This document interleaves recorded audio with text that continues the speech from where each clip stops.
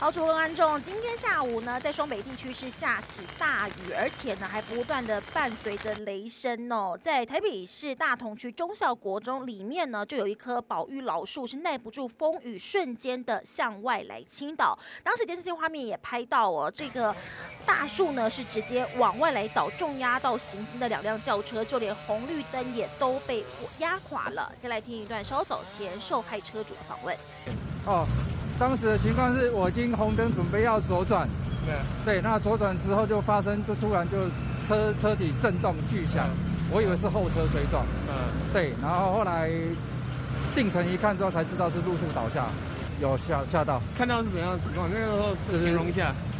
就是对，就是新闻上以前看过的画面，想不到发生在自己的身上。